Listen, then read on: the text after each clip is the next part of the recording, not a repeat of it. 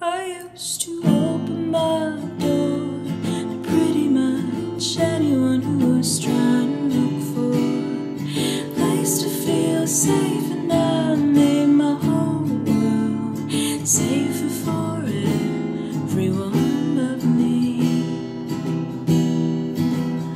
So I took my bones and I caught them all, and now I found a place inside safe me.